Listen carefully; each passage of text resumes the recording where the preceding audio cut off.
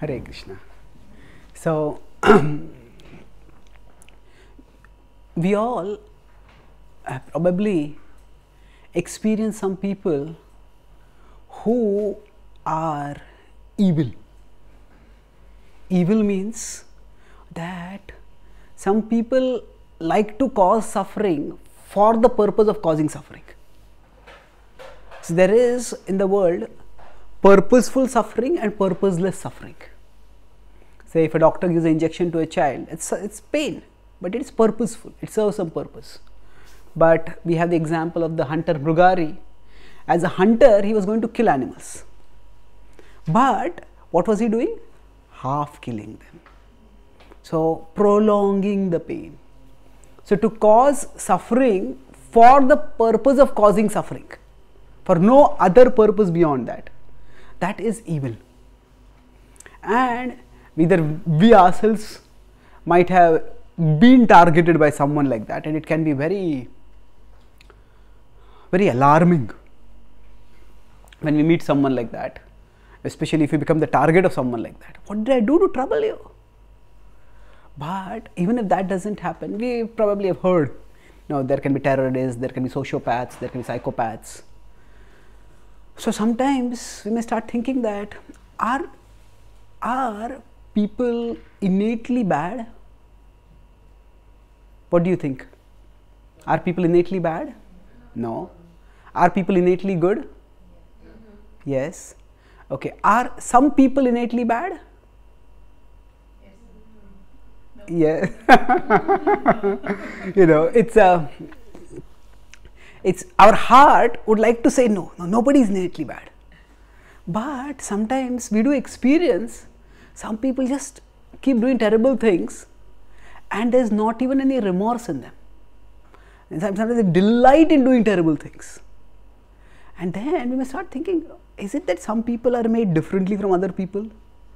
And then we would like to, as I said, we all like, like to believe that people are basically good. But when we meet people who are not so good, let's put it mildly again, then we start questioning what's going on. So, broadly, we can have two approaches. Say a child, and the child is newborn, you could say the child is naive. The child does not have any capacity to doubt. And the mother offers a breast milk, the child just suckles it and drinks. And the child doesn't, the child starts doubting who is this person? What is she giving me? The child couldn't survive. So there is childishness and there is childlikeness. So childish is basically naive, frivolous. So if we have a naive approach towards people, so children, they might just naively trust anyone. That that's why if a kidnapper comes along and offers some sweets, offers some toys, and a child might just go away with them. And if somebody is naive, they can be exploited. They can be ruined by someone who is wicked, who is exploitative. So, in dealing with people, na- being naive is one extreme. And sometimes, when we have bad experiences with people, from naive, we might go to the other extreme of cynicism. Naivety, naive, naive is, oh, everybody is good. Cynicism is, nobody is good. In America, I was going for a program and I saw on the bumper of a car ahead of me, uh, the more I get to know people, the more I love my dog. so, what has happened here? People might just feel, oh, people are terrible. So, cynicism is the other extreme, where we just see everyone negatively, everyone suspiciously. But cynicism, we might say, it might keep me safe. I won't be betrayed by anyone, I won't be let down by anyone. But then, cynicism will also keep us safe, but safely lonely. We want relationships. So, in between these two extremes, naivety and cynicism, between these two is the courage to trust. So, we all need to trust, but that trust is again not uh, uninformed, it is not cowardly, it is not naive, it has to it is a intelligent act of courage. Trusting anyone requires courage. Because of course it doesn't require courage if we have no experience of the real world. But especially uh, if you if we want to interact on a close basis with someone we require the courage to trust. So now how do we how do we not be naive at the same time not be cynical? For that we need to understand how people work. So this applies in every area of life. It applies in say in professions. We need some level of trust. If we are professionally dealing with someone, there is no trust, there cannot be any relationship. And online selling started, say eBay or something like that. If there had been no basic denominator of trust, uh, the seller is one part of the world, the purchaser is one part of the world. The seller can send a product which is flawed, and the buyer can send a check which is going to bounce and if that had happened, the whole e commerce would have collapsed. But there's a basic level of trust. So, although in business, in profession, we have laws and we have insurances and everything, but still without trust, we cannot function. And this applies all the more so in our personal relationships. And similarly, if you want to practice spiritual life, those who are our spiritual friends, spiritual guides, trust is required over there and that trust requires some courage. So, that courage, how do we develop that? For that, we need to understand human nature.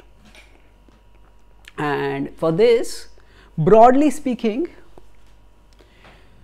we could say there are two theories of human nature. Now, whenever we talk about human nature, it's a big subject, and theories are also generalizations. Uh, but there is one theory which is, you could say, the uh, leftist theory. The left is the, the, the broadly the communist kind of narrative. The left narrative is that people are innately good. It is their situations that makes them bad. So in, in that's why communism focus a lot on what they call as social engineering. Nowadays social justice is a big uh, thing in today's world. The idea is, oh, if somebody is behaving badly, that's because their social situations were bad. Just see how poor they are. Just see how much exploited they are. What do you expect people to do if they are so much poor and exploited? They will react. So, some people, for example, say some, become, some people become um, extremists, some people become terrorists. They try to ascribe the cause of this terrorism. Just see how they were exploited, how they were disrespected, how they were deprived. And it's an understandable reaction. So, this is the idea that people are basically good and it is the situation that makes them bad. So, if I am not sure that's better, bro.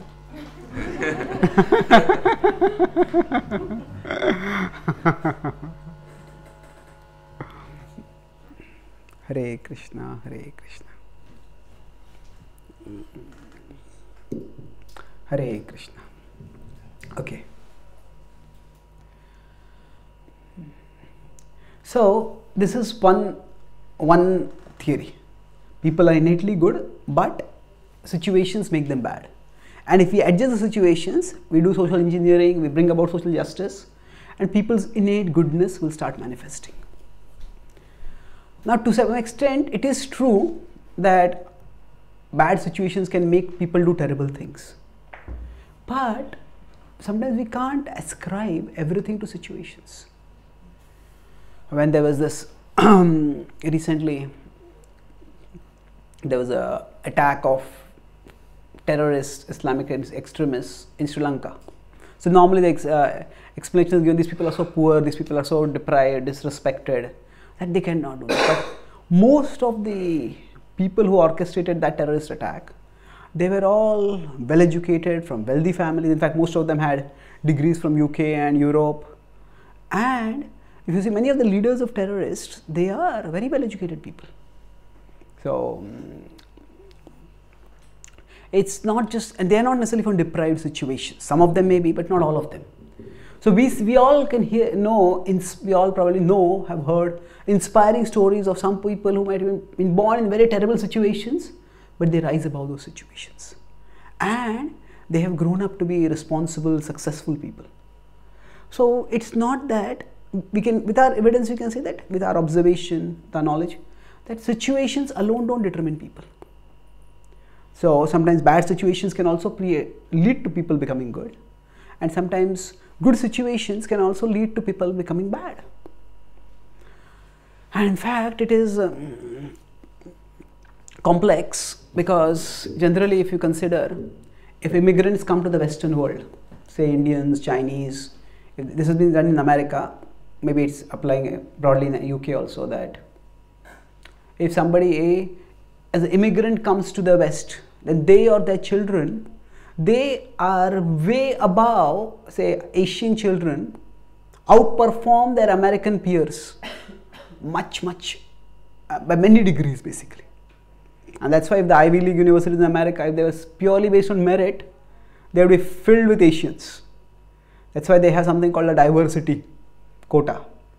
And that's why, say, a very meritorious Asian student might not get in, but uh, much less meritorious Latino might get in. It's not a discrimination, but it, that they call it diversity and inclusion.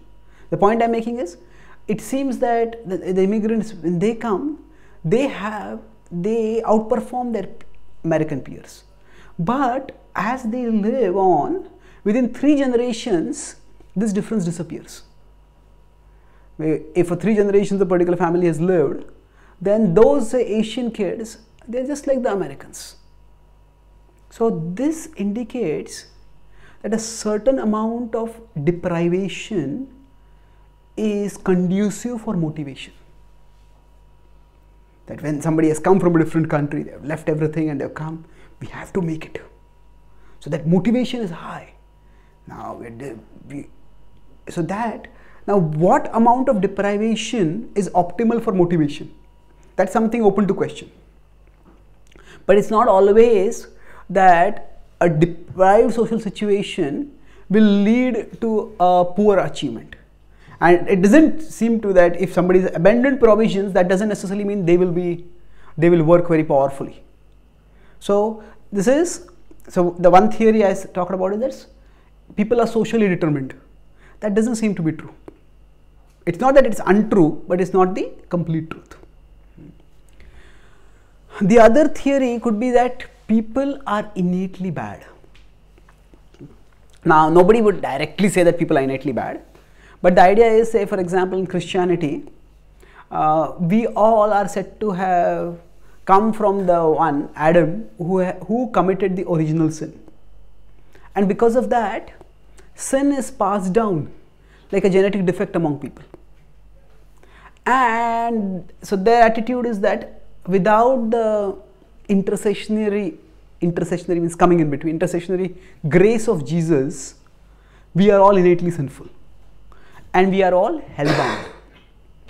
So, and they, there's so much evil in the world. We cannot deny that there are people who are evil and they do terrible things.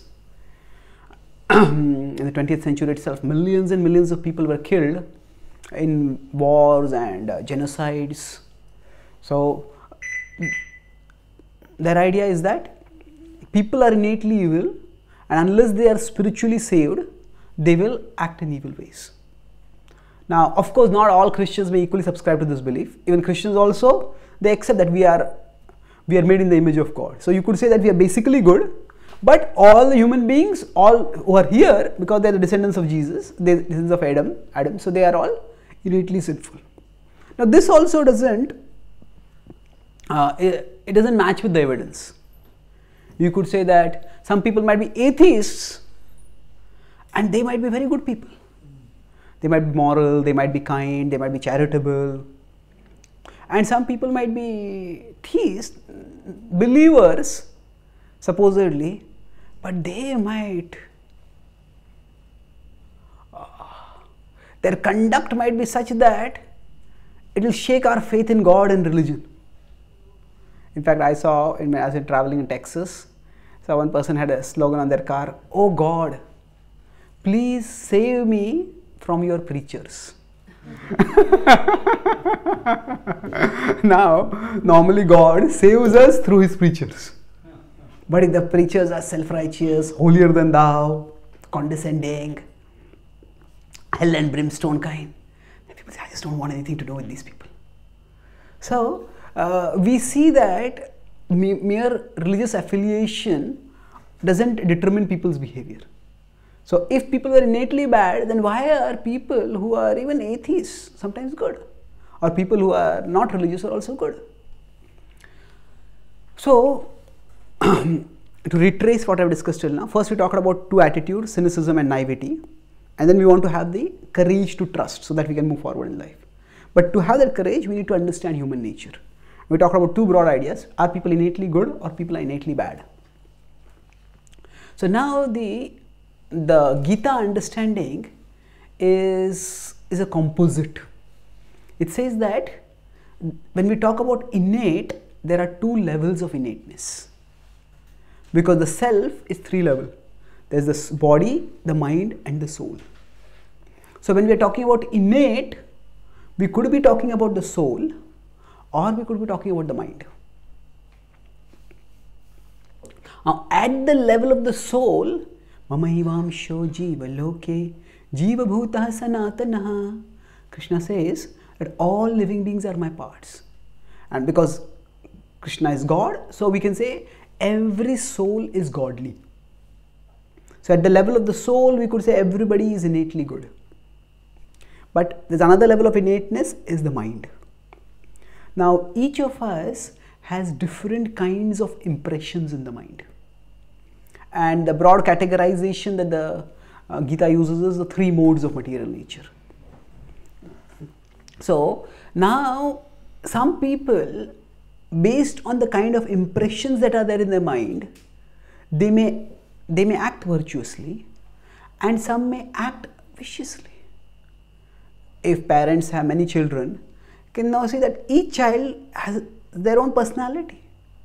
Some children from the just childhood, maybe very babyhood also, they're like silent and gentle. Some child babies, when they cry, it's like they cry in a way they want to bring the whole roof down even in their cribs, they are looking out and thinking, when will I take control of the house? Mm-hmm.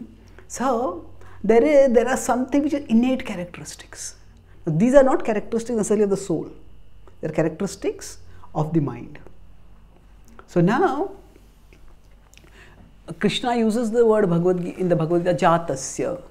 There's the 16th chapter of the Bhagavad Gita. Does anyone know which is that chapter? 16th chapter? Yeah, thank you. The divine and demoniac natures. So there, eh, if I put it this way, there are two kinds of people. Some are wise and some are otherwise. सो द्वाभूत सर्गौ लोकेस्मिन दैव आसुर एवच Krishna says there are the wise are the godly the unwise are the ungodly but significantly what Krishna says is अभिजातस्य Bharat from 16:1 to 3 he gives the characteristics of those who are godly and 16:4 he gives the characteristics of those who are ungodly दम्भोदर्पोभिमानश्च क्रोधपारुष्यमेव च cha abhijatasya partha sampadamasurim. So, he talks about abhijatasya. People are born with these characteristics. Now, where are they born? What do we mean they are born with? It's not that the soul has these characteristics, it's rather when the soul goes from one body to another, it goes with the subtle body. So I am using the mind as a shorthand for referring the subtle body, just to keep things simple. The mind, so the mind goes with the soul. So depending on how a particular person has lived in the past, they will have a particular nature. Where some people might be ungodly, some people might be godly.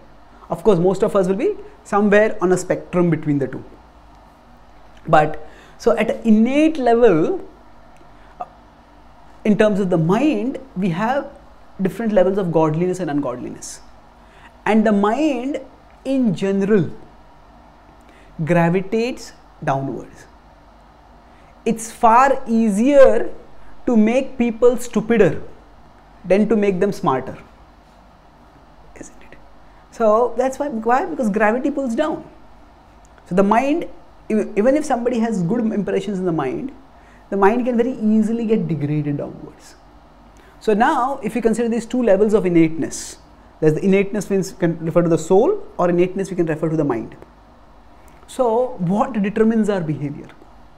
Are people innately good or innately bad? At the level of the soul, everyone is innately good. But at the level of the mind, it depends on what kind of impressions people have. And these impressions can be from various factors. It can be from their previous life actions, it can be from their this life upbringing, it can be from their association. So, upbringing and association is what the communists would call as social determinism. Hmm? Uh, that we are socially determined. And when when those people say Christians say some people are innately evil, and we see some people are innately this they seem to be violent, they seem to be disagreeable. That innateness is from the previous life. It's not from innate to the soul. So basically, both these ideas can be reconciled with this understanding of two levels of innateness. And in this, so will people, if people are left to themselves, if everybody is say put in a situation which is which is not deprived, which is reasonably socially they're in a comfortable situation. So will they become good human beings? It depends.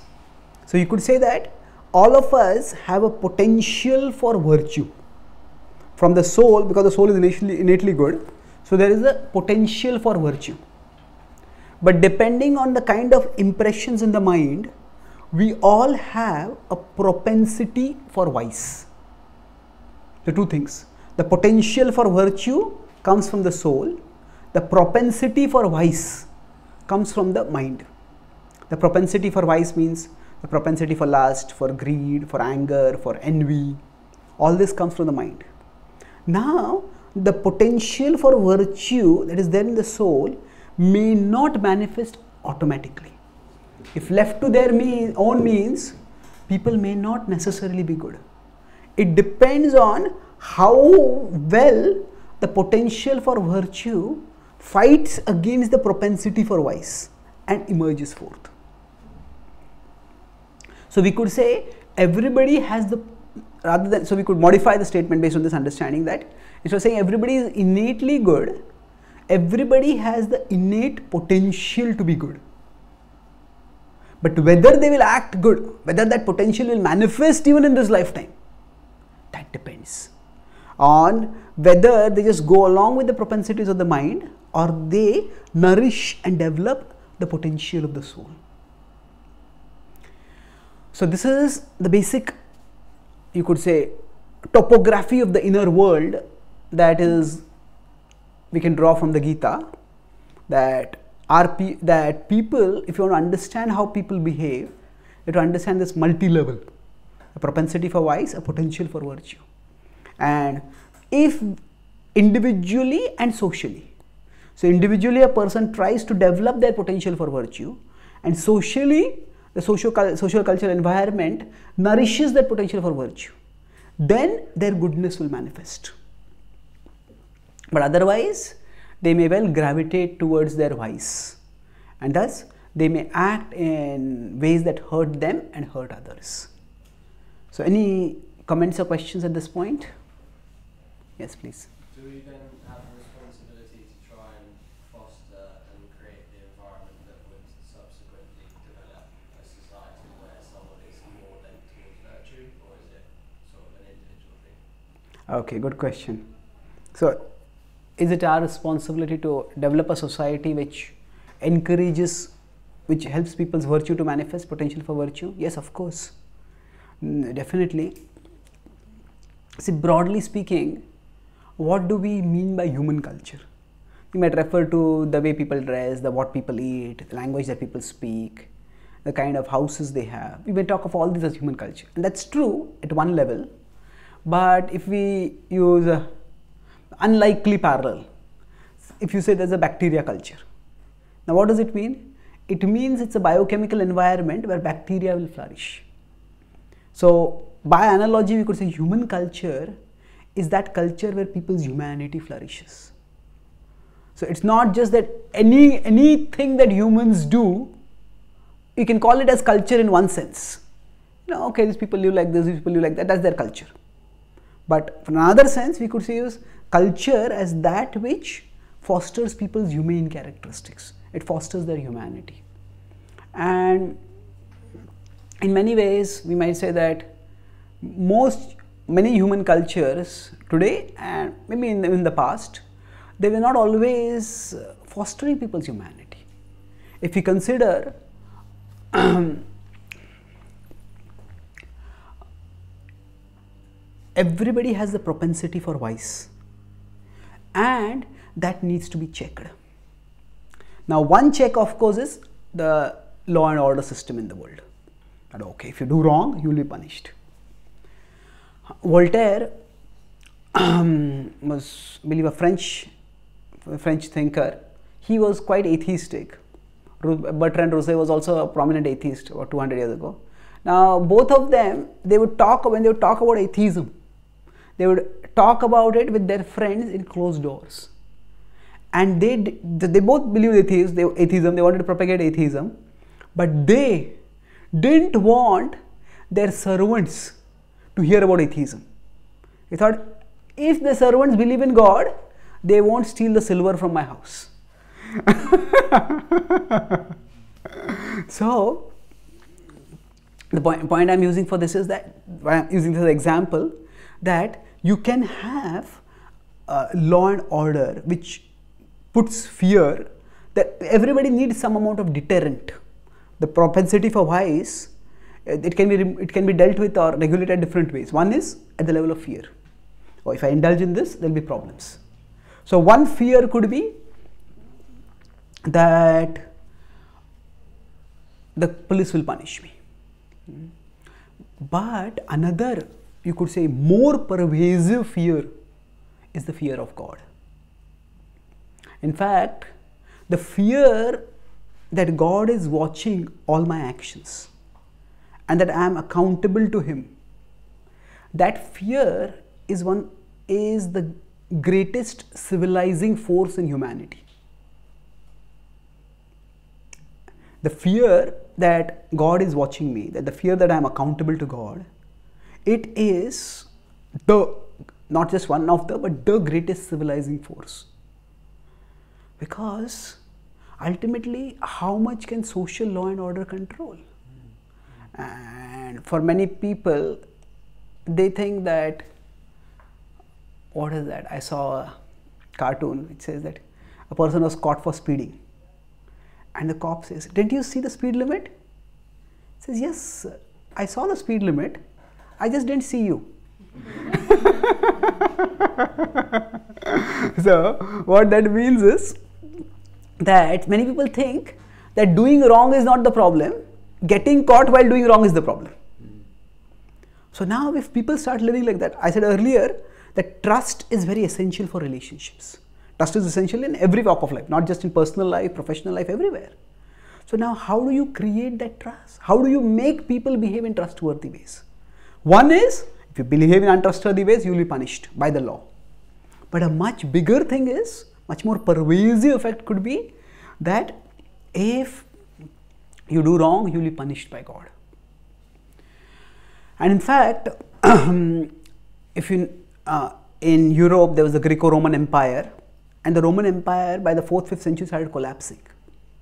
And one reason was there was pervasive immorality. And at that time, the Roman emperor he looked around and he said that even for basic administration of society, there, uh, for material administration of society also people need to be honest. So he saw who are the honest people over here? And he saw the Christians over there were honest. Till that time, Christians were quite highly persecuted. But then he adopted Christianity. So it was the pagan Roman Empire became the Holy Roman Empire at that time. And then after that, the after that what happened was Christianity spread in a very big. But ironically, the way Christians were persecuted by other by existing faiths at that time, as soon as Christians gained power, they started persecuting the other faiths also. That is unfortunate. But the point I'm making over here is that even for material administration, morality for material um, administration, a basic level of morality in society is required. And it was found by the Roman emperor who had no interest in Christianity per se. For utilitarian purposes, he felt that this fear of God is good, which people have because of which they are honest. That is good. So, so when we say that, that to answer you come to your specific answer to your question, that is it our responsibility? Yes. But what do we do? At one level, you say we we say that we have to have better law and order, but how much? Sometimes, how many police can you have in a society? And sometimes, if the police do something corrupt, do you have police to police the police? Without moral, basic morality, nothing can function in society. So, fostering God consciousness uh, at the very level, at the basic level of fear. Of course, we can go higher, and we'll talk about in the course as we move forward how we can go higher. But at that basic level, the fear of God is required. Now, by the 18th, 19th centuries, 1923, you could say roughly, uh, as scientific rationality started spreading and Darwinian evolution and other theories started getting propagated, so people started feeling that belief in God is no longer rational. There was the German thinker Friedrich Nietzsche, he said that God is dead. Now, sometimes he is given as a emblem of atheism, and his proclamation, God is dead. But the way he spoke it, it was not he in the if you, the novel in the story in which he writes this, it's not a celebratory occasion. He says that, oh, we God is dead. Who has killed him? He said, we have killed him. And if we have killed him, then all the water in the world is not enough to wash the stain of the blood of this terrible murder that we have committed. And now that God is dead, the earth has no center and everything is spinning apart. So basically, what he, he, he saw that as a, a, a very dangerous thing. That the removal of that, if God is not there, then obviously the fear of God is also not there. Then if the fear of God is not there, then what will be the civilizing force in society? So he said, we human beings have to evolve. We have to become like superhuman beings, and then we will create our own morality. But that has not worked very well. We have almost uh, just in the last century, you know, in the 20th century, the number of people who were killed in wars were seven times more than the number of people killed in wars from the first to the 19th century combined together. So, it's been a brutal century. Although we, our historical memory often tends to be very short and we may not remember, but it's been. So, what do we do? At one level, people feel that now there's a lot of moral relativism. Okay, that's what you believe is right, that's what I believe is right. But we cannot live as a society like that. So now representing God as a rational, rationally intelligible, and as a spiritually experienceable reality. That is what is required. So, of course, fear of God is the basic level. Beyond that, we can go toward love of God also, and that's desirable. But yes, so we need better law enforcement, but that will only deter people from, to some extent, from their propensity for vice. But it is positive God. Now, I talk with respect to God, you can have fear of God, you can have love for God. If we consider these two things, there's a propensity for vice and there's a potential for virtue. So the propensity for vice can be curbed by the fear of God. But the potential for virtue can be manifested only by love for God. So that's why what we need to do is, if we look at Srila Prabhupada's presentations, it was not so much he did not talk about, although there is a fifth canto, there is a description of hell. Prabhupada hardly ever talks about that in his classes. Although some of the disciples of Prabhupada made that quite prominent by publishing a book called Laws of Nature in which they put those pictures on the cover pages. But even in the book Laws of Nature, Prabhupada's emphasis is not so much on, oh, you will suffer all these hellish punishments, so don't, don't go do that. It's more rational presentation. Actually, worldly pleasures are not all that they're made out to be. You are meant for something better than worldly pleasures and therefore pursue transcendence. So Prabhupada's approach was yes, he did caution us quite often about not giving into the propensity for vice. But his focus was on developing the potential for virtue. So, the propensity for vice can be curbed by fear of God, but the potential for virtue can be fanned, can be nourished by love for God. So, to the extent we can foster God consciousness in both ways, fear of God and love for God, to that extent we can have a greater civilizing effect on the individual co- coming not just from the individual willpower but also from the social influence. Does that answer your question? Okay.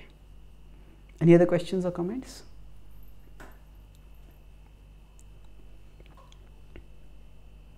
Yes, true.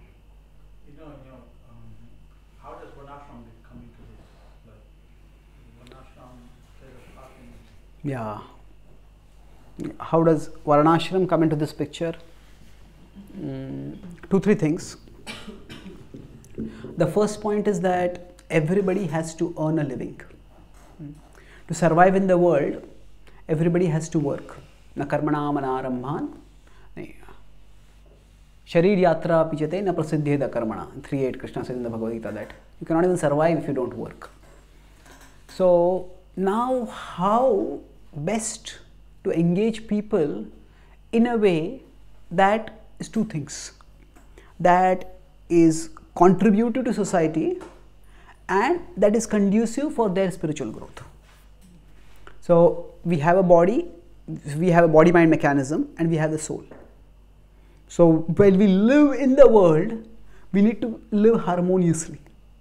At the same time, we also need to progress beyond the world through our consciousness.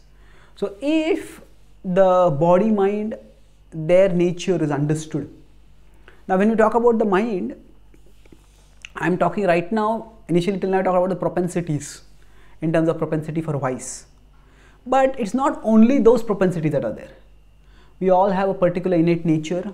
So some people might be more intellectual, some people might be more martial, some people might be more mercantile, some people might be more mechanical. So that is the, basically the four human types. So the four varnas, Brahman, Kshatriya, Vaishya, Shudra, they are also impressions in the mind, the subtle body. So now, if somebody can be engaged in a way that is harmonious with their nature, then they can also contribute to society. See, basically, how do we know our nature? Uh, there's two things. If guna karma vibhagasha, guna is quality, karma is activity. So way we, we could understand it in today's world is guna is comfort, karma is competence. That means if we are doing something and we feel comfortable doing that and we are competent doing that, we feel good about doing it and we are actually good doing it, we can do it well. Then that's a broad indication that this activity is aligned with our nature. So what happens by this is that there is there are two things. There is social contribution that will come and there will also be personal satisfaction that will come. Because if I am doing something which I feel good about, then that will give me personal satisfaction also. And the spiritual journey itself will give us spiritual satisfaction. But often that satisfaction is not so easily available. So you could say that there is there are worldly pleasures that are anti-spiritual. And there are spiritual pleasures. So we, to some extent, the spiritual journey is we give up the worldly pleasures and go towards spiritual pleasures. But this is a long journey. And in between, are we to live pleasureless? We can say, no, no, we can get some spiritual taste also. Yes, we can, but how much? That often is elusive. It's, it's, it sometimes comes, it doesn't come. So, if we could be engaged in a way that is according to our nature, not just according to our material nature, but also according to our spiritual purpose. That means Brahmanas love to study. So if a Brahmana is told to do fundraising, they'll be miserable. But if a Brahmana studies, but a Brahmana studies books on atheism and become, propagates atheism, that's also not good. So we want to do something which is in harmony with our material nature, but it is also in harmony with our spiritual purpose. So if we do that, then what will happen?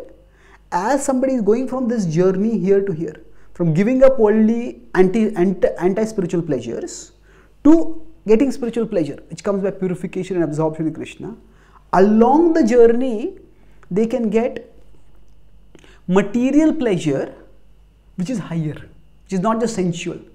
Material pleasure that is in harmony, that comes from living in harmony with their nature. And this pleasure would actually be a combination of the material and spiritual. Because at just so for the intellectual, just to read an intellectually satisfying book is intellectually stimulating book is satisfying. But for an intellectual to read a book which is intellectually stimulating as well as this devotionally illuminating, which makes them go closer to Krishna also. Then what happens? The, they get some intermediate satisfaction, which is a combination of material and spiritual. And that can help the person uh, per- persevere through this journey. So most people who falter on that journey from worldly pleasure, only anti-materials, anti-spiritual pleasures to spiritual pleasures, they falter because the it's the, the lack of pleasure seems to be there for too long. So Varnashram provides a structure by which people can three things now happen. There is social contribution that happens because they're doing something which they're good at. Personal satisfaction comes up because they're doing something according to nature and spiritual evolution also happens. Because they're doing it in connection with the, with the supreme. So now how exactly to do all this in today's world uh, the point is not so much to divide people into society into boxes. You know you are a brahmana you're a kshatriya. In some parts of the world in some of the gurukuls we tried that. You know some devotee children were told you are a brahmana and you do this chant mantra you are a vaishya but it's not that simple. It's not so easy to identify people. And later on, as they grew up, they realized they're not that. And they felt quite unhappy about the way the childhood went.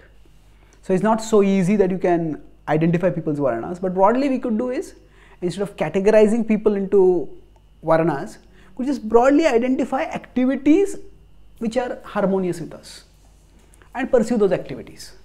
So we don't need particularly the categorization in terms of the label, we just need the identification of activities that we can happily do. And if we could engage devotees accordingly, and, and later on even people accordingly, then they are less likely to re- relapse towards anti-spiritual pleasures. And that's how they can progress. Does that answer your question? Thank you. Any other questions or comments? Um, Yeah, please. mentioned spiritual satisfaction. Um, what is that? Okay, so what is spiritual satisfaction? Basically, as I said, there are three levels of reality there's the body, the mind, and the soul. The soul, by nature, is, is said to be joyful. Sat Chit Ananda. Soul is eternal, soul is conscious, and the soul is joyful. However, presently, the soul's consciousness is caught in many material things. And that's why the soul is not able to experience one's innate joyfulness. It's like a child is sitting comfortably at home. Maybe the mother is nearby and the home is quite comfortable. But the child is watching a horror movie. And the consciousness is completely projected into the horror movie. Because of that, the child just maybe sometimes horror, fear, terror, panic, all those emotions is going through. So, so similarly for us, Purushah Prakritistho Bhungte Prakritijan Gunan Karanam Gunasangosya Sadasadyoni Janmasu that the soul's consciousness is caught in matter. And based on what kind of movie is there, the, so the child experiences emotion. So similarly, based on what kind of events are happening for us in the material world, we experience pleasure and pain. But beyond all this, at the level of the soul itself, there is innate joyfulness. So, to the extent our consciousness arises to the spiritual level, to the extent we connect with anything spiritual, to the extent slowly an awareness of our innate nature, innate joyfulness starts becoming activated. So, for example, if you come to a temple and participate in some spiritual music, some kirtan, and then feel some joy, some peace, or we sit and do some meditation, chant some mantras and feel some peace. So, what is happening over there is currently our consciousness is projected from the so soul is here, the mind is here, the body is here. So you could say soul is soul is the observer of the movie, like the child. The mind is like the screen, and the physical reality is what is whatever is being depicted on the movie. So sometimes in life, good things happen to us. It's like the movie is going on very nicely. There's a lot of enjoyment. We feel happy. Sometimes the movie, horrible things happen, and we feel miserable. But we are so caught in the movie that we just can't perceive anything beyond the movie. Mm. So, what happens for helping us to realize our spirituality? Mm. Because we are so caught in the movie, uh, Krishna arranges the whole process of bhakti yoga is spiritual stimuli are provided us to us at the material level. That means, say the mantra. Now, it is a spiritual sound, but it's arranged in such a way that it manifests through our material throat. So, the same throat which I can produce other sounds, I produce this sound also. But because this sound is connected with God, it's the names of God, and He has invested His personal potency in them, so it starts stimulating our spiritual memory. It starts uh, stimulating our spiritual uh, awareness. And then that's how, with some spiritual whenever we expose ourselves to spiritual stimuli, we experience some peace, some joy.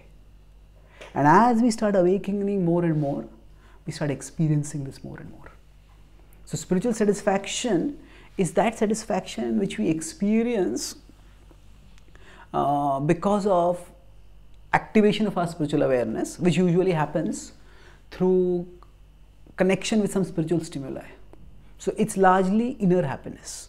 Some spiritual stimulus might be there, but it's largely, it's not, in, it's not dependent on the worldly sources of happiness. So, if we are if we are spiritually absorbed, say now a few days later there's Janmashtami, the appearance in Krishna appeared, it's Krishna's birthday. So many devotees fast at that time. Now fasting is you could say the state of physical deprivation.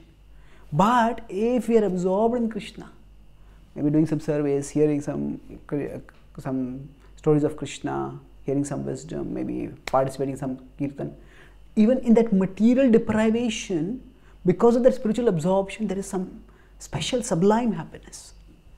And that indicates that mm, actually in this situation I, I should be feeling tormented, but I'm not feeling tormented. That means I'm experiencing something which is separate from the body, something which is at a trans physical level, and that's spiritual happiness. And as our contact with our own spirituality or our contact with the supreme spiritual reality, Krishna, as it increases more and more, we start experiencing more and more spiritual happiness. Okay, thank you. Sorry, basic question. Yeah. What's the spirituality? Okay. What is spirituality? Yeah. So spirituality can mean broadly three things. It is a level of reality, it is a state of mind, and it is a process for attaining that level of reality and state of mind. I'll repeat these three things. That most people, when they think something is spiritual, oh, I went to that place, it was so spiritual. Mm-hmm. What they mean is, it made me feel so good. I felt relaxed, I felt at peace, I felt like one with the cosmos. So, for most people, spiritual is a state of mind. Oh, I, I felt spiritual. Now, yes, spiritual is a state of mind, but it's not only that. Spiritual is also a level of reality. Level of reality means that reality itself has two broad categories there is matter and there is spirit. So, matter, if you see from the pure physical perspective, this mic stand is made of the same essential atoms or fundamental particles as, say, my hand. But it is not conscious, I am conscious. So, this consciousness does not come from matter. So, there is another level of reality. That, that level of reality is spiritual, spiritual level of reality.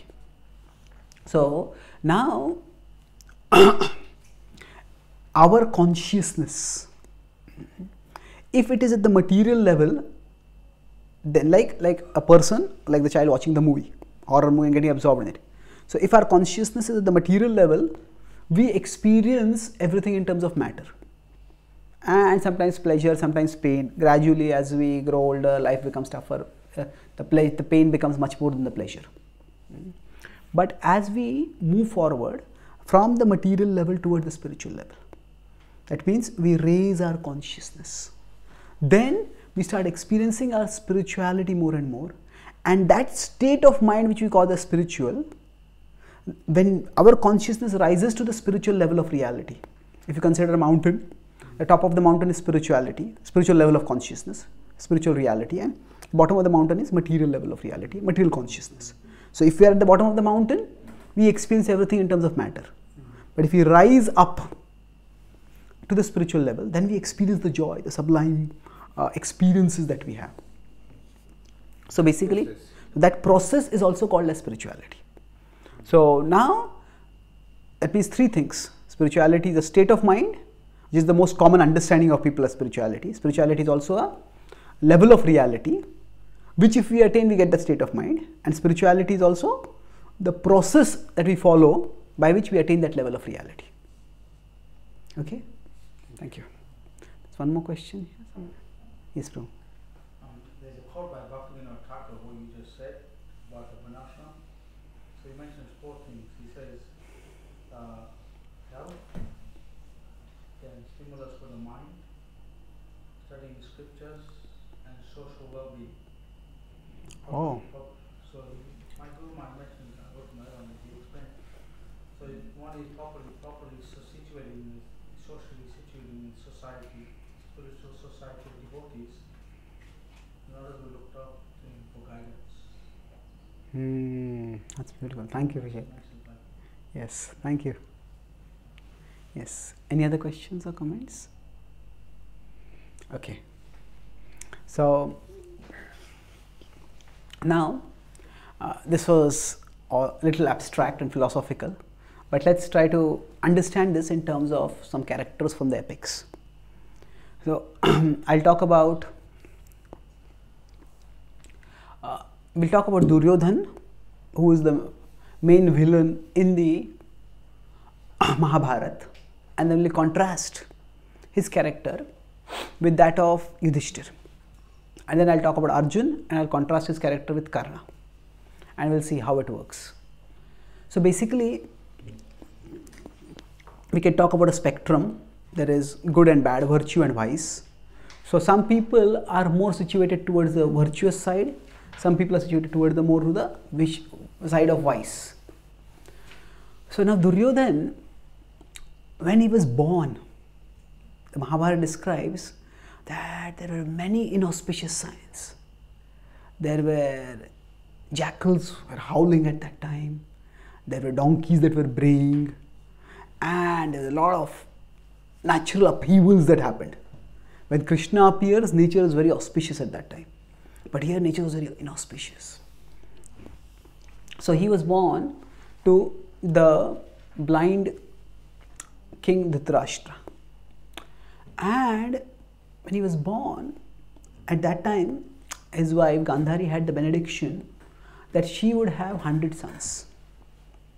There was Gandhari, um, Dhritarashtra and Pandu were brothers. And Gandhari had not had a child for a long time.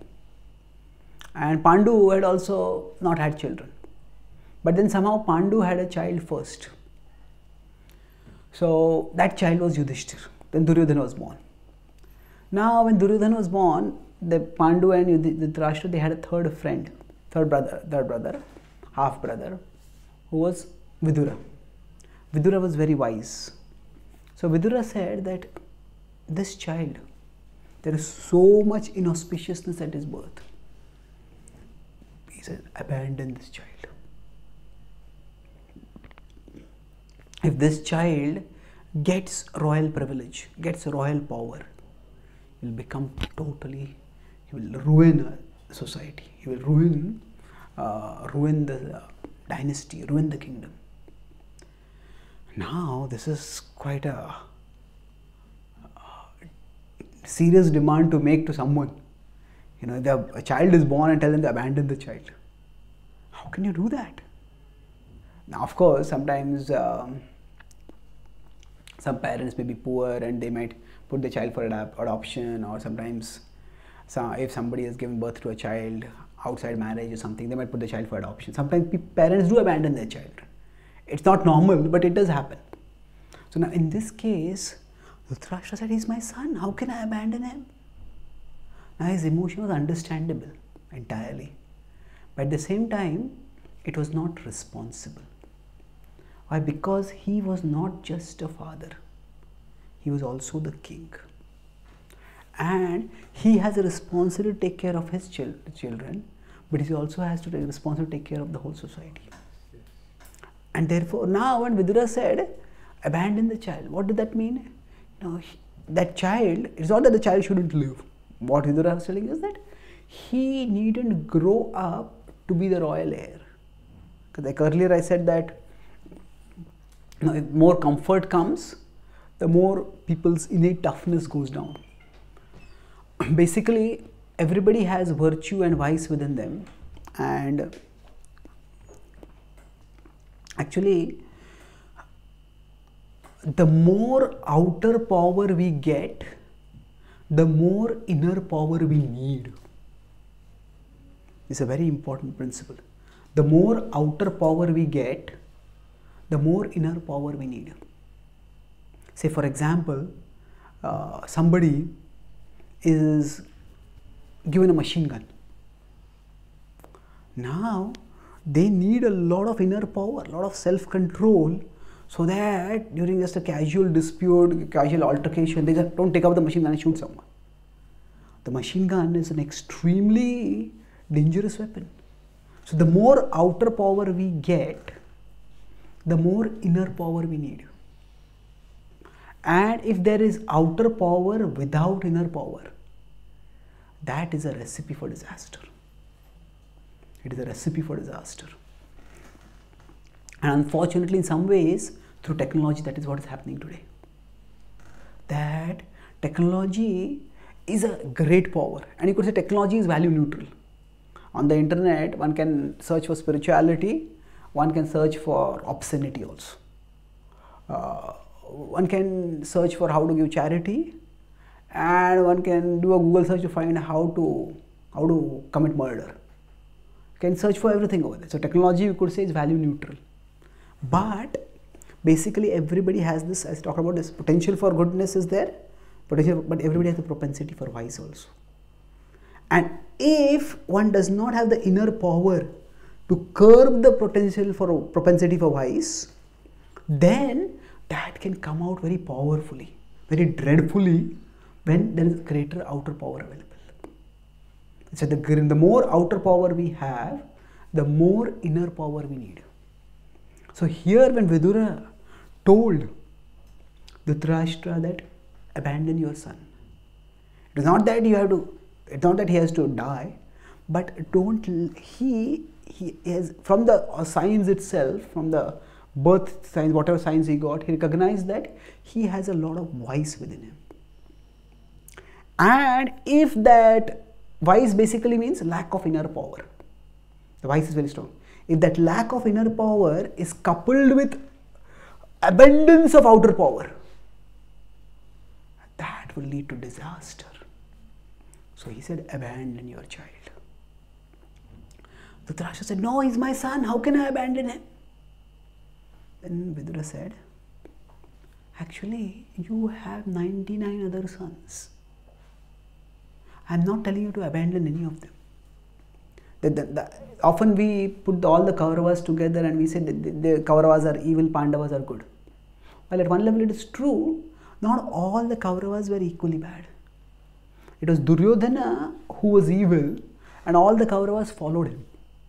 And that's how they all acted in evil ways. If Duryodhana had been removed from the top, then all the other Kauravas were not that evil. So what he told him is, you will still have 99 sons, just abandon him. But Dhritarashtra was too attached. He said, I cannot give up this son. And thus Duryodhan grew up to be the heir. Now, you see in today's world also, many people they want to give for their children all the benefits that they didn't have. And that's a natural desire. I don't want my child to miss out on the good things of life. But at one level, too much comfort can pamper children. So Dhritarashtra, he not only not only kept the son, but he also pampered him. His first son. A natural love was there. And as he grew up, so basically, now these signs that were that occurred when he was born, those signs indicate that there was a strong propensity for vice within him. And with that propensity for vice, as he grew up, he grew up to be a very pampered prince. Naturally, he was the, the Pandu at that time was living in the forest. And whether his son would come back or not was also not known. So it was expected that he will become the, Duryodhan will become the king. So everybody paid a lot of attention to him, everybody offered him respect, and he grew up in that way. So as he grew up to be pampered, gradually, like I said earlier, this certain level of deprivation uh, is helpful for the formation of character. There was uh, a few months ago, I read an article in the New York Times which is based on uh, a movie that was made about parenting, parenting styles in in in, in the in India, Africa versus parentings in the Western world. So basically, now of course these are generalizations, but this showed how these children, in Western world, they they have phones and they have TVs and this and that, and still often the children are disagreeable. Children demanding, crying for this. One thing they don't get, they cry and they are, they throw a big tantrum. And then the same journalists, they had traveled somewhere to Africa, and they were going on a safari. And there was this maybe seven, eight year old girl. She was also traveling with them on the safari. And then when they stopped at a particular place, nobody told that girl to do anything. But she herself naturally, she started putting the mats over there, started cleaning up the things. And this is why you're telling her. He says, I have to be useful. So rather than asking anything from anyone, she was naturally doing.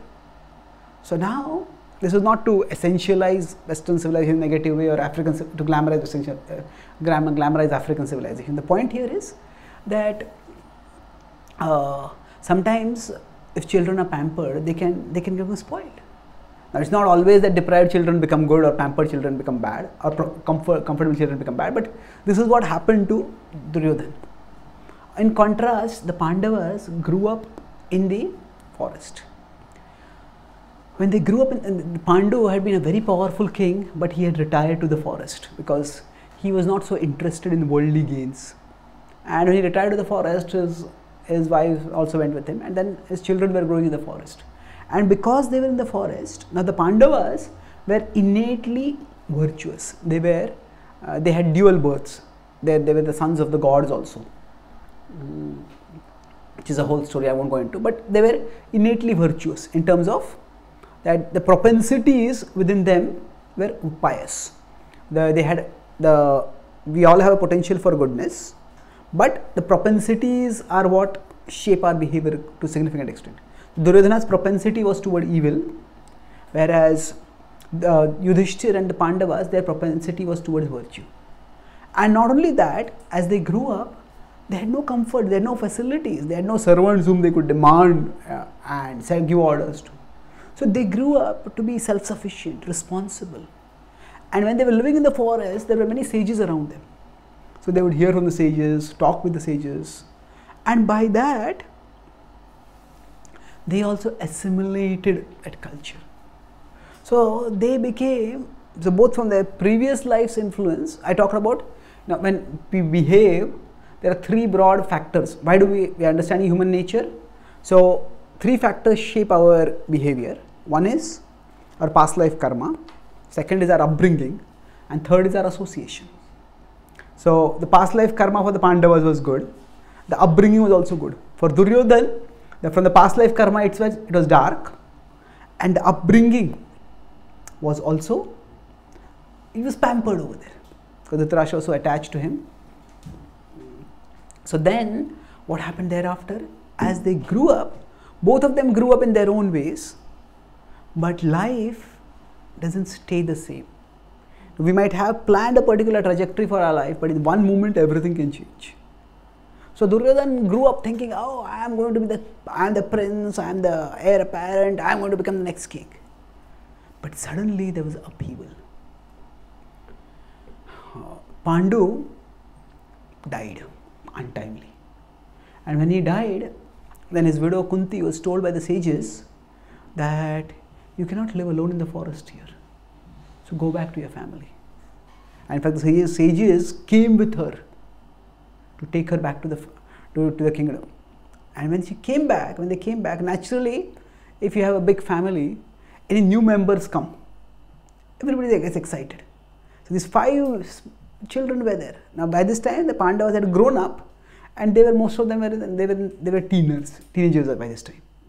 So they give, had grown up to cultured human beings, cultured cultured children, and this because they were new, everybody was attracted to them. And not only that, on top of being new, they were also very well behaved, gentle, cultured, kind, courteous. And this was in striking contrast to the way Duryodhana was. See, somebody is well behaved, naturally we are attracted to it. But suppose uh, we go to a particular place and then maybe somebody comes to a temple and then maybe somebody just the first thing that somebody comes and asks them give some donation. Hey what is this? You may not like it. But then you meet somebody else who's just very kind very polite maybe gives some prasad talks nicely and shows some concern. You it's a big so if we just meet one good or one bad person that itself affects us. But if we meet two in contrast then it's highlighted even more. So what happened over here was that they were the citizens and the courtiers were accustomed to Duryodhana's spoiled nature. And in contrast to his behavior, when they saw Yudhishthira's behavior, it was a big difference. So naturally, everybody started getting attracted to whom? Yudhishthir. And when this happened, Duryodhan just couldn't tolerate it. The nature of the human mind is that if we keep getting something regularly, we start thinking that we deserve it. If we just keep getting something regularly, now we may not deserve it. But say if a beggar regularly gets some alms and it doesn't get alms, it's not the beggar deserves alms. The beggar is not doing anything to merit getting the alms. If somebody doesn't give it, hey, why not giving? So, although Duryodhan had not done anything to earn that, uh, all that being the center of attention, but he had developed this entitlement mentality. I deserve this. And when he lost this, when he saw it all going away from him, he saw it all going toward Yudhishthira and the Pandavas. This is unbearable. And that's how, he, till, now till this point, his, his propensity for vice had not manifested in a very aggressive way. It was just that he was not a very courteous, he was like arrogant, full of himself kind of person. But it is not harmful, not malevolent. But actually, it is provocation that introduce us introduces us to us. That means everybody can behave very cordially in ordinary situations but it is when they are provoked how they behave. That's what shows not necessarily that shows uh, that's not necessarily the real person but that shows a side of that we, we don't see. So because we live in a cultured society so what happens? Even if we have a dark side even if there's a lot of vice within us the propensity for vice is strong still we don't express it. We curtail it. Curb it. Rather you know we cannot see each other's thoughts. And that's a great blessing. If we started seeing each other's thoughts, not a single relationship could be sustained. You think like you think like this about me? You have this kind of desires? This is what kind this kind this kind of person? Horrible. No relationship could be sustained if you we to see each other's thoughts entirely. So nature has given us that protection. Thoughts might come, desires might come, but how are your actions? So this protector is there, but and so normally even if some dark desires, dark thoughts come up, we keep them curved within us. However, however, when provocation comes, that's the time when this inner curves that are there, they're just shaken off. When provocation comes, we feel threatened. How dare something like this happen? So oh, then the dark side within just surfaces. So this is what happened to Duryodhana. That whatever darkness was there within him, it, it just burst forth. So in his case, although Yudhishthir was getting the attention, and in a sense Yudhishthir was his competitor. Uh, but what happened? His anger got targeted more towards Yudhishthir's younger brother. Who was that? Bhima.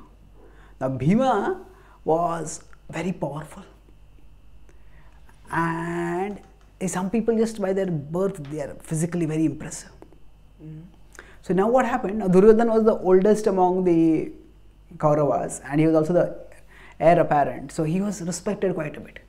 But when the Pandavas and the Kauravas, they were all, they are kids, they would play. So Bhima, what he would do is, he was so strong. Later on, described that Bhima, when, when the Pandavas got tired, he carried all his four brothers on his body. He was so powerful. So when they were playing in the water, Bhima would just pick up others and throw them away in the water.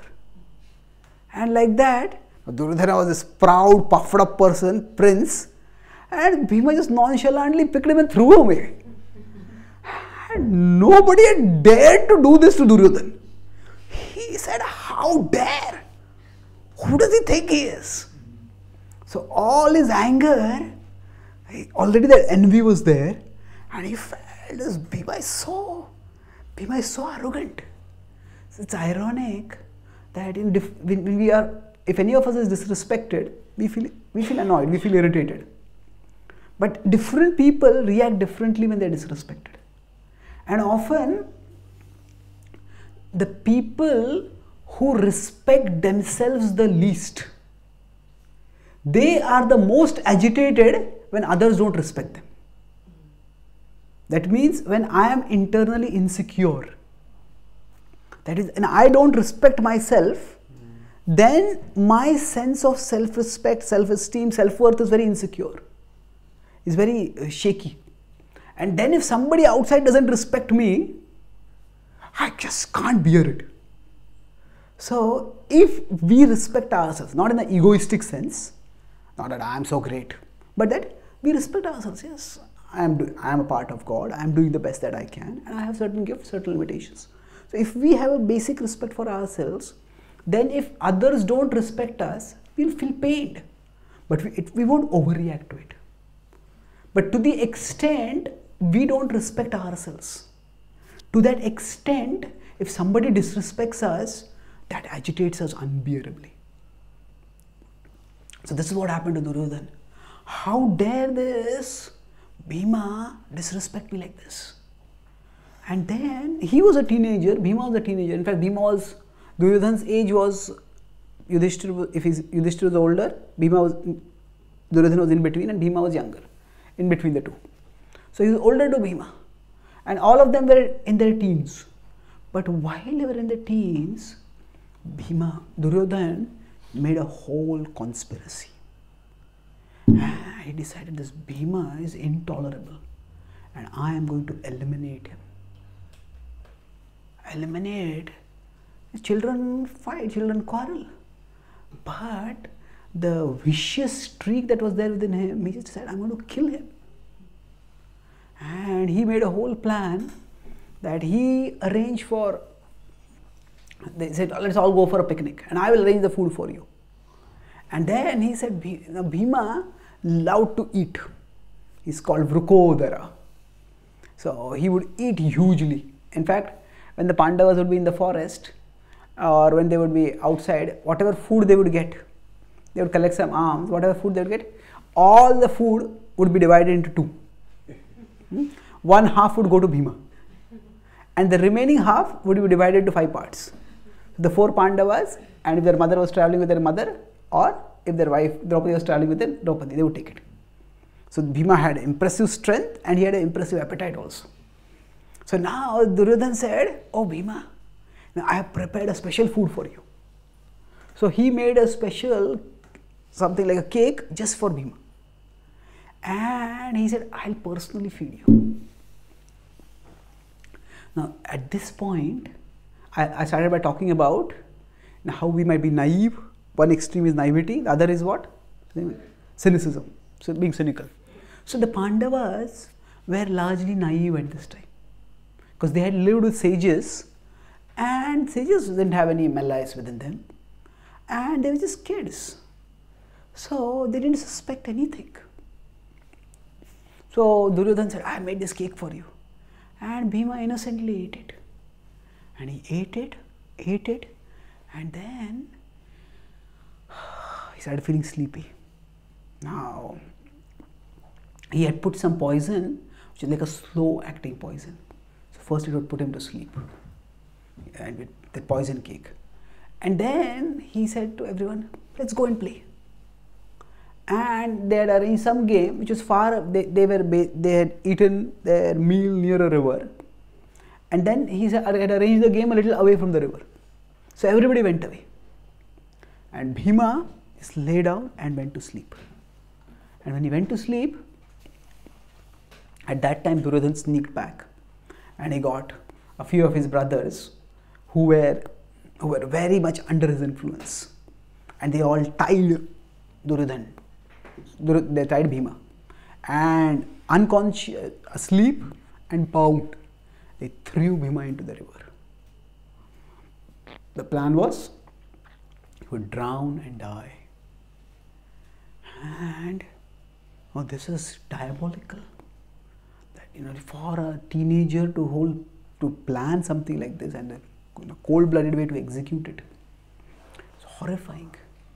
And this is how we see what Vidura had said that there is strong sense of vice within him. So abandon him. He didn't abandon, and then that's why he started manifesting in a horrible way. And he, as Bhima drowned in the river, Duryodhan looked at his brothers and exulted, yes, finished. Some people, Krishna also talks about this in the Bhagavad Gita that those who are very ungodly, they delight in eliminating their opponents. Asau maya hata shatrur. I have killed this enemy, I have killed, I'll kill that one also. Just see how clever I am. Ishwaroham am bhogi. I am the controller, I am the enjoyer. So he thought this way. And he came back. But in the meanwhile, something else happened. That as Bhima drowned in, he was powerful, and there were in that river there were snakes. So the snakes are water snakes were there. What is this? Who's the, what is this being who has come right into us? And they started biting. Now somehow somebody is devoted to the Lord, so the Lord protects those. So Bhima was protected. And by an inconceivable arrangement, the snake's bite, when it bit, the snake's bite was poisonous. Bhima had also been given poison. But these two poisons counteracted each other. The snake bite acted as an antidote. And then Bhima woke up and he woke up and he saw the snakes around him, he saw the rope around him. Yeah, what is going on? Just shook it and all the ropes broke apart. And the ropes broke apart and the snakes were all around him biting him. And normally a human being would get paralyzed with fear. But Bhima was a person who didn't know, didn't know fear only. He had such power. So all these snakes were biting, and a snake was vicious. He just caught the snake by the fang and started whirling him around. And using the snake as a rope, he started beating all the snakes around him. Now, none of the snakes had experienced anything like this. The snakes, he just caught the snake in his mouth, uh, at the mouth itself. So the snake could powerless. And if its mouth is tied closed, what, what can it do? You, I just, and all the snakes just fled. And what kind of being is this? And finally, the snake used them, Bhima just hurled it away also. And when he went away, when all the snakes went away, now they went, the, the river had a deity to it. It was like the abode of Varuna. So they went to the river god and they said that "Hey, an intruder has come over here. In space, you have this unidentified flying object sometimes come up. So an unidentified floating object has come. And then it became an unidentified fighting object. so, what is this? So then, when they described, now Varuna knew about the Pandavas. Varuna knew about he a god, and he knew about he had that knowledge. So I said, "Oh, that must that sounds like Bhima." Some some people have certain characteristics. He says this kind of behavior, Bhima, Bhima is. It's a child. Bhima is capable. Call him here. So then they called Bhima. And when Bhima came there, Bhima was welcomed and honored. He said, Oh, Pandu, mm, Pandu was very dear to us, and therefore you are dear to us. The Kuru dynasty is, uh, is, has been friends with me. And he honored him and he gave him mm, was good food to it. And they said, We have some celestial nectar with us. And he said, If you drink the celestial nectar, your body will become as strong as that an elephant. And now, even the best of the gods could, best of the um, celestials, could barely drink like one pot. And in front of everyone, they said, Bhima said, they said, Bhima, you can drink this, become strong. He picked it up, one pot, he just drank it. And he finished it, and then he picked another pot, and he drank that also. And he picked up a third pot. Like that, he drank 10 pots. And everybody was stunned. And uh, sometimes, in a perverse way, people sometimes drink alcohol and they say, How much can you drink? So they drink and they drink and then they go crazy after that. But now, now this was such a heavy drink. Now, Bhima drank it all and then he started shaking. So then they took him, they offered him a bed. So he drank 10 pots and then he slept for 10 days. And then when he woke up after 10 days, all that celestial nectar had gone into his body and his body had become as tough and strong as hundreds of elephants. So then, now he, he said, I want to go back. And he marched back. And in this, now here, all the Pandavas were panicky. Where is our brother gone? He just disappeared from the face of the earth. And it was panic. 10 days he had been missing, several days. So then they were searching, searching, they couldn't find him anywhere and they didn't know.